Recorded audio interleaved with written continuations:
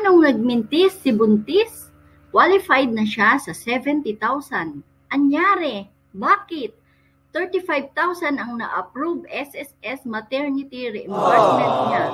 Ang buong detalye, panoorin nyo ang buong video ko at tuturuan ko rin kayo kung paano makaklaim ng 70,000 maternity reimbursement.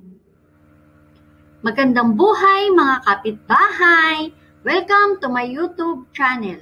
Please subscribe, like, and share.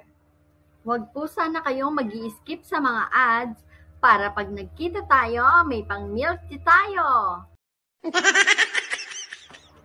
Pwede po ninyong panuorin ang mga video ko araw-araw kahit paulit-ulit. Disclaimer lang po, hindi po ako empleyado ng SSS. Ang mga payo ko ay base lang sa aking karanasan at sa karanasan ng mga taong na-interview ko. Sa loob ng isang taon, mayroon tayong apat na quarter. Kung January hanggang March ang buwan ng panganganak mo, asa first quarter ka, January to March.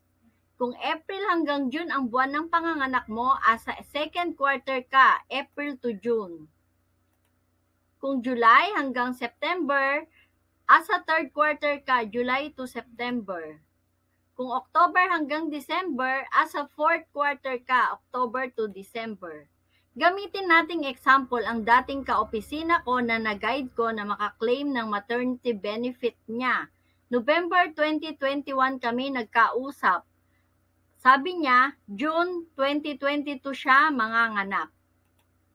So, ang quarter of contingency niya ay April to June 2022. Ang hinahanap natin ay semester of contingency. Ibig sabihin ay anim na buwan, kaya ang semester of contingency niya ay January 2022 hanggang June 2022 ang labing dalawang buwan bago ang kanyang semester of contingency niya ay January 2021 hanggang December 2021. Sa loob ng mga buwan na yan, dapat may anim na buwang contribution siya para ma-qualify sa 70,000 o may tatlong buwang contribution siya para ma-qualify sa 35,000. Pero sa halimbawa po natin, hindi na siya aabot sa October contribution niya. Kaya dalawang buwan lang ang pwede niyang bayaran. Kaya hindi siya mako-qualify dahil ang sabi at least 30, at least tatlong hulog daw. Ayon sa deadline, ang October to December ay January na ng susunod na taon. Kaya dapat quarterly ang bayaran at dapat wag lalampas ng December ang pagbabayad Huwag paaabutin ng January. At dahil sinunod niya ako, kaya ayun, nakaklaim siya ng 35,000. Yes! Kinumpirma po niya. At punta naman po tayo sa isang buntis na nagmintis, walang kukurap. February 2022 daw po siya manganganak. Kaya ang semester of contingency niya ay October 2021 hanggang March 2022. Dapat po may anim na buwan siyang contribution para ma-avail niya ang 70,000. Pero yun pa niya na-confirm na buntis siya. Usually, ganun naman. After 2 months, saka pa lang malalaman na buntis. Kaya medyo talaga may kahirapang makaklaim ng 70,000. Kaya sa quarterly ko siya pinagbayad para mahabol niya ang April to June niya. And then in-advise ko siya na bayaran ang September to December 2021. Nagbayad naman po siya. Ayan po ang proof po ni Mrs. na nakabayad siya ng kanyang contribution ng July to September 2021. Your contribution under PRN blah blah blah for applicable month of July to September in the total amount of 9,750 have been posted. Kaya kompleto na niya ang anim na buwang contribution. Nangangamoy na si 70,000. Ayan din po, may confirmation naman po si SSS na 70,000 ang maternity benefit niya. Pero, anong nangyari? Bakit 35,000 lang ang natanggap niya? Hulaan nyo nga po kung bakit. Ayan po ang kasagutan. October 6 po siya nagbayad ng kanyang contribution. Dapat hindi siya lalampas ng September 30. Kaya siya ay na-disqualified sa 70,000. Dapat ang payment po ay pasok da pa rin po sa 12 months before semester ng contingency. Pag na-confirm na ninyo na buntis kayo, kailangan ninyo na mag-notify kay SSS. I-open ninyo ang My SSS account ninyo.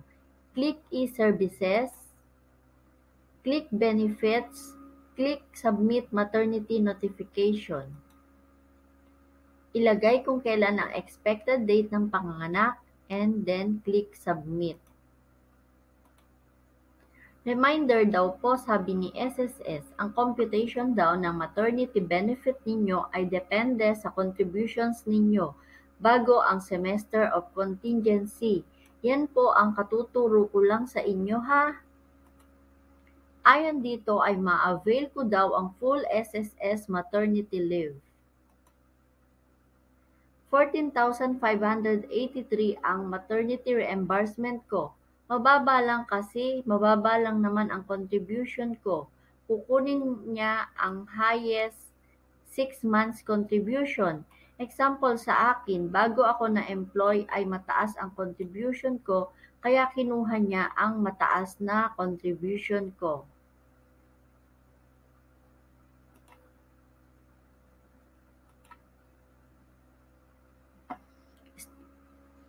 Ayan po, may reminder na naman po si SSS. Ah, baba, ang maternity benefits ninyo ay matatanggap ninyo sa inyong mga bank accounts. Kaya dapat mag-open kayo ng sarili ninyong bank accounts. So, pag Ayan po, click e-services click Disbursement Modules, click Disbursement Account Enrollment Modules. So, yan po. Uh, i-click ninyo ang e-wallet, RTC, CPO. Yan po ang lalabas. Hindi, wala, hindi po available sa kanila ang mga GCash. Kaya, kailangan nyo talagang mag-open ng bank account. Kapag naka-open na po kayo at i-register nyo na po yung inyong bank account, dapat ang name ng bank account ay katulad ng name na ni-register nyo sa SSS. At ang ilalagay yung bank account number ay ang talagang bank account number at hindi ang number na nakalagay sa ATM. Kung meron po kayong katanungan, paki-comment na lang po.